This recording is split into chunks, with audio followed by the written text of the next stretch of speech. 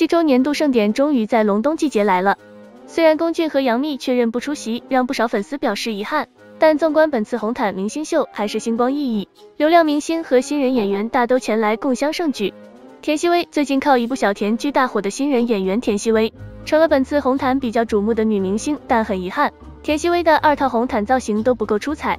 虽说第一套黑色亮片长裙勾勒出她的好身材，而且全黑系的色彩搭配也显得很神秘有高级感，可惜整体造型毁在齐刘海。不知道田曦薇是不是想要延续李薇古装刘海的甜美造型，所以本次红毯秀也选择了同款刘海造型，但她努力营造甜妹子形象，却与这套黑色礼服很不搭配。而田曦薇第二套造型更是彻底翻车，不变的齐刘海只不过是扎起了马尾，还特意留了一缕头发，整个发型显得奇奇怪怪，很不大方。虽然颜值扛住了生图，但是造型却让人失望。重点是这套玫粉色的薄纱长裙，无论是裙子的版型还是设计，都像极了孕妇装。本身田曦薇很瘦了，却偏偏被衣服衬托的腰身格外粗壮。这套造型真的从头到脚写着失败两个大字，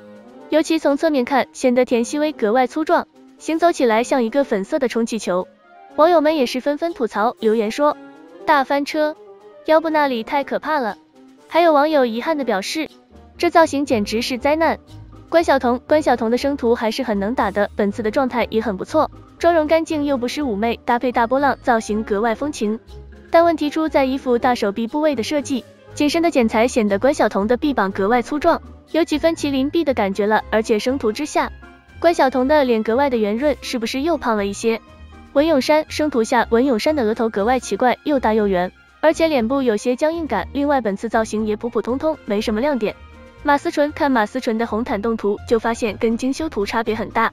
精修图中的马思纯脸部很小又精致，但动图中却看出马思纯有些苍老了，并不是年龄的老去，而是整个人带着浓浓的中年气质。不过本次红毯选择了一套灰色西服裤装造型，倒是显得很干练。吴宣仪依旧甜妹路线，不过吴宣仪却没有选择刘海造型，而是搭配了公主头，再搭配可爱大花蓬蓬裙，以及温润的大颗珍珠项链。整体营造出可爱少女的元气感。张嘉倪动图中看张嘉倪，很明显感觉到她瘦了一圈。虽然正在经历跟买超的离婚风波，但张嘉倪状态还是很不错的。但是整个人很明显的消瘦感，不禁让人心疼她。本次造型，张嘉倪走的贵妇风，端庄不失优雅的发型，搭配黑白皮草和丝质长裙，配以奢华钻石项链，整个人高贵典雅。白鹿白鹿走的也是公主风，可爱又大气的发型。搭配复古感十足的长裙，又甜美又不失优雅感，而且白鹿的动图颜值扛住了。张凌赫，张凌赫的生图没有暴露太多问题，整体发型和双排扣极具设计感的西装很搭配。唯一的问题是张凌赫的粉底太厚了，生图镜头下整个人的脸跟脖子色差明显。而且本次红毯很有趣，张凌赫和白鹿前后出席，两人之前还被传恋情，这次就齐聚盛典，也不知道是不是 GQ 刻意给网友送瓜。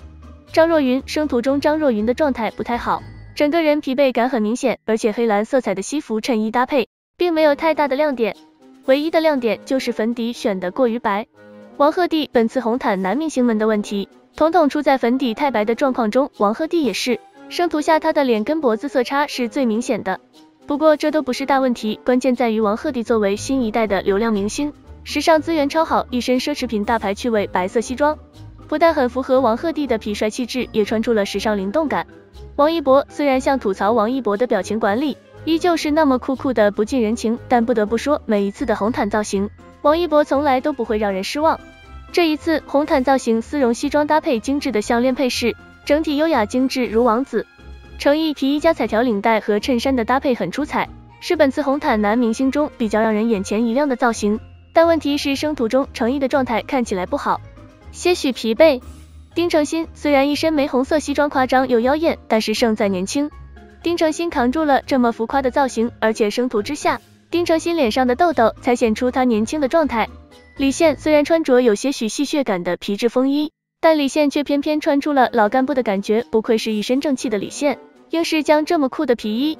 穿出自己的风格。纵览本次红毯明星生图，无论是男明星还是女明星。谁给你留下更深刻的印象呢？